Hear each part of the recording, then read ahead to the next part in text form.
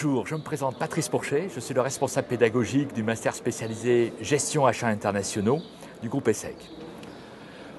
Au sein de ce programme, nous formons des acheteurs internationaux.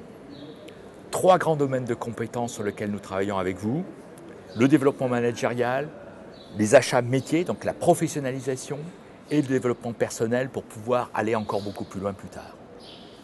Deux filières, une filière CRJ Europe, une filière Singapour-Asie, qui vont vous donner la possibilité d'avoir différentes expositions à l'international.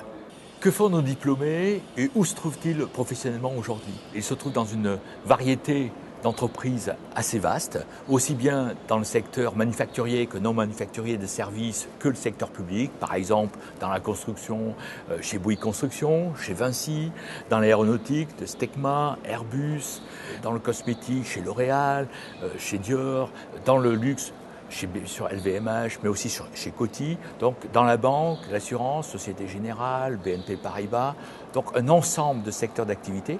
N'oublions pas aussi des, PME et des entreprises de taille intermédiaire dans lesquelles aussi se développent nos anciens.